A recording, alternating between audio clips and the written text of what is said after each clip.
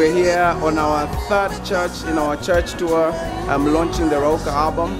We're at Nairobi Chapel, and uh, this is a special church because uh, this is uh, where I first led worship, and the church that's responsible for planting Mavuno Church, which is my home church. So it's kind of like a homecoming of sorts. So I'm very excited to be here, and um, I hope you enjoy.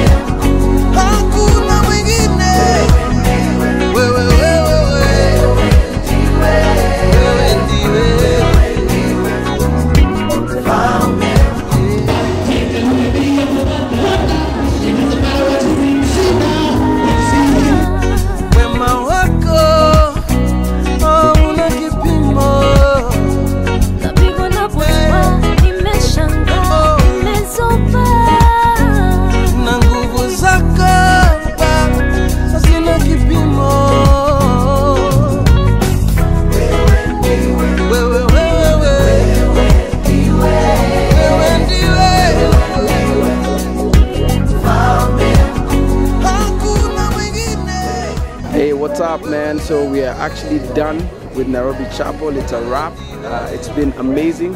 Um, I, you know, I just thank every single person from Nairobi Chapel who came out and you know, just supported us, bought CDs, and really just engaged in the worship experience. Um, coming soon to another church near you. We'll be sharing information. Join our Facebook page to find out where we're going to be next. And obviously, don't forget to subscribe to our YouTube channel. Baraka, peace,